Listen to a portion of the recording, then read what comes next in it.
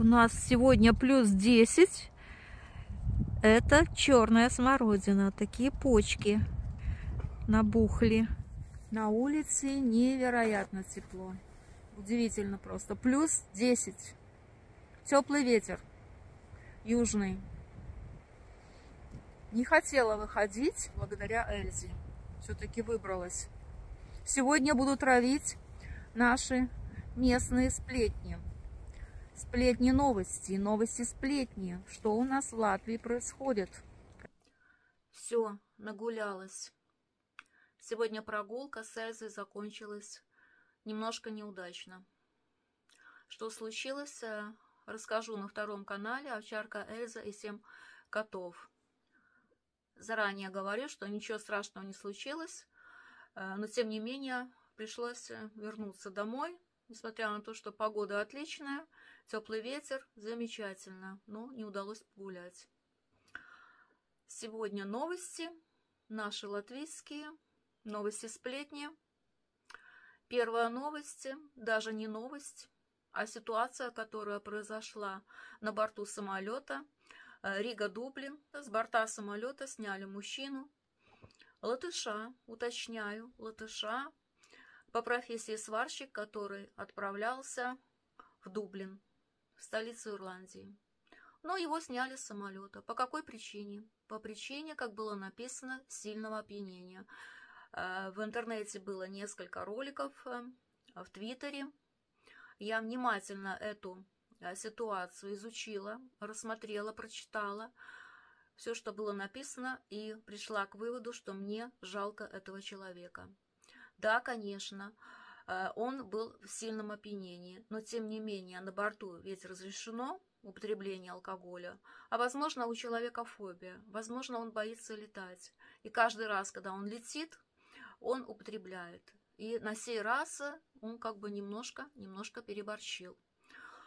Но там очень большой акцент был на те слова, которые он употреблял в своей речи. Э, кто вызвал полицию, как это случилось, э, что он делал, оскорблял ли кого-то, или он там буянил, или на кого-то набрасывался. Но ничего в статье не было написано, ничего. Я видела только ролик, когда мужчина уже был в самолете, его пропустили через э, все проходные пункты, вот, его пропустили на борт самолета. И потом вызывают полицию, как полицейский профессиональным движением валит его на пол. Там сзади кто-то снимает, поэтому уже ролик он в интернете. Мужчина перед этим просто ругался, э, использовал слова на букву «Б» и на букву «Х». И вот этому был придан особый акцент использования этих слов.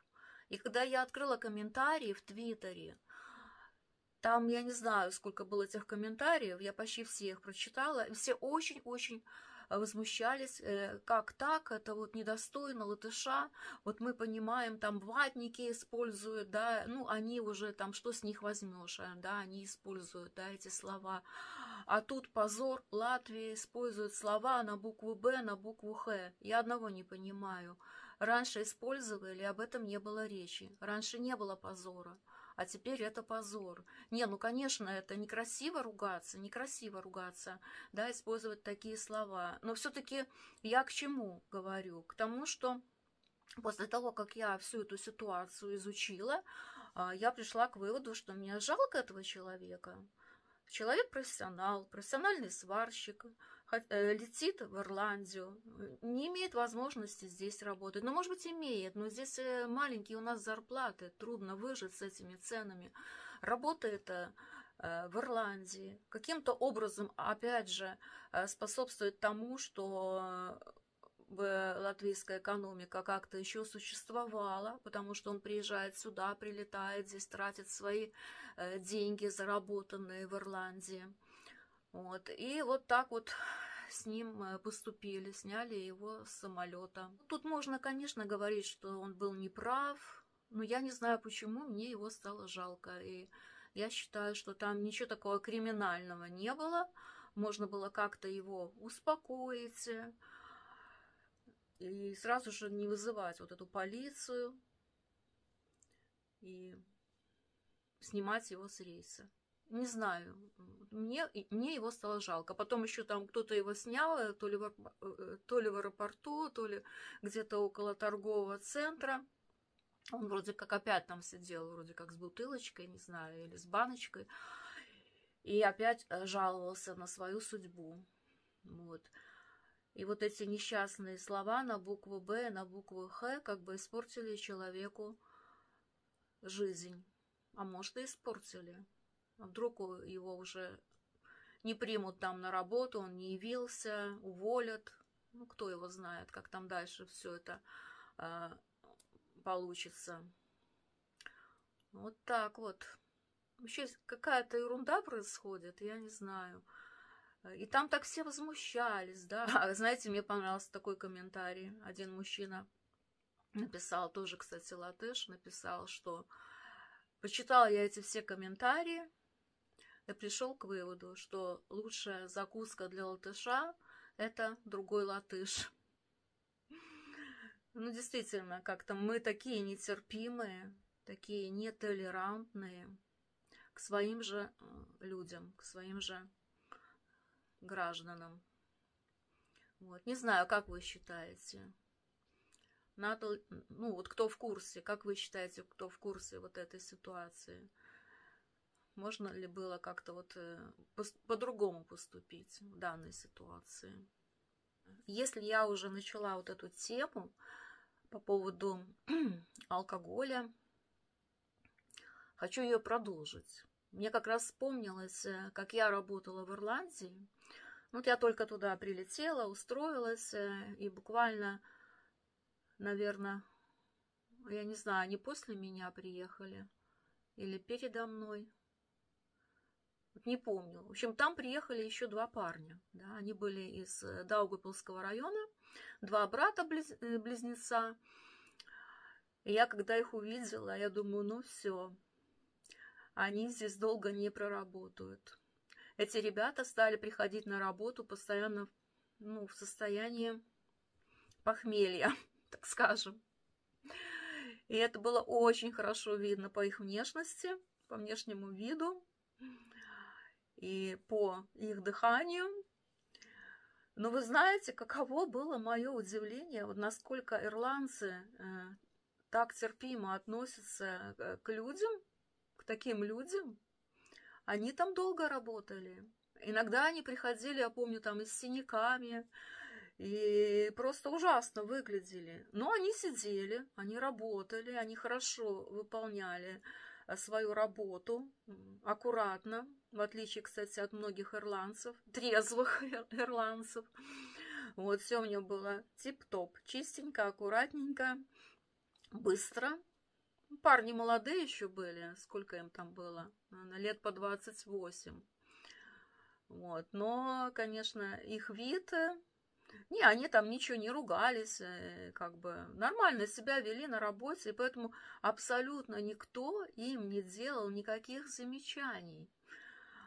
Вот, э, я не знаю, у нас бы, если вот так, наверное, бы люди ходили на работу в таком состоянии, мне все время казалось, что вот вот-вот их оттуда ну, просто выгонят, да, а э, это, конечно, не так страшно, если здесь, да, выгоняют, ты дома живешь, а там же они жили, снимали жилплощадь, им нужно было платить. Я думаю, а что они будут делать? И тогда еще было не так просто, не было таких э, дешевых рейсов, как сейчас Ренейр летает, э, чтобы вернуться обратно. Я помню, тогда я летела, мне билет обошелся 500 долларов.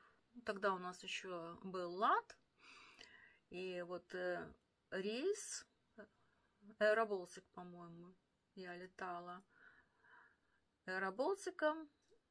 Причем это был не прямой рейс, это был рейс с пересадкой. Э, по-моему, через э, Прагу я летела. Так что э, я была, конечно, в шоке. Но они, естественно, получали там зарплату, и они ее тут же тратили. Там алкоголь тоже был страшно дорогой. Вот, то, то есть у них таких денег не было. Я думала, что они будут делать. Так вы понимаете, они там еще поработали, поработали и сами оттуда ушли, сами уволились, недовольные тем, что им там мало платят. Это, конечно, было вообще непредсказуемо. У ирландцев абсолютно другое отношение. Они сами всегда не могли дождаться этой пятницы, и как только пятница, они тут же бежали в пабы. У них пабы все забиты были, помню. Я не знаю, как сейчас э, в Ирландии какая ситуация, но тогда, когда я работала в 2000 году, в паб не пройти. Я пару раз туда заходила, когда я видела эту обстановку, я была просто в ужасе. Во-первых, туда не зайти. Там просто толпа народа. Летом около паба толпа народа. Сейчас не знаю. Тогда вот были такие времена. И они там вот э, проводили все свое как бы свободное время ирландцы. Я помню, я сижу, мне девчонки говорят, ирландки, Зана, do you want to go to pub? Там on Friday или еще какой-то день. Вот, я говорю, no, I don't like your pubs. Они такие, why, why? Я говорю, ну нет, у нас нет паба. Я как бы тоже там не хотела их э, как-то обидеть. Я говорю, нет, мы, в общем, не привыкли так вот ходить по пабам. Ну, у нас немножко другая культура, да. А вот как бы с, с их культурой, для их культуры это вот нормальное времяпрепровождение. Пока снимала, уже стемнело. Ролик короткий получается, а вот сидишь, снимаешь, думаешь, переснимаешь, вспоминаешь что-то еще интересное. И я, кстати, еще не дорассказала вот э, про этих парней. Что же с ними дальше произошло? С работы-то их, конечно, не уволили, они сами ушли. Но пока они еще работали на этой работе, их выгнали э, с квартиры, где они жили. Они жили не на квартире, а в доме, в семье. И вот я помню, они английским не владели, а мы тогда же приехали еще там по трудовому договору, там с разрешением. И все это ну, не так просто было, как а, сейчас, да, там приезжаешь, э, сам ищешь себе жилье и работу, и ничего не нужно. Тогда было гораздо все сложнее. Ну так вот, значит, эти ребята э, были поселены э, в семью. Э, она скурировала одна женщина. Ну, то есть была связь между той женщиной, ну, в общем, кем она там являлась, это не важно, и фирмой, которая здесь, в Латвии была.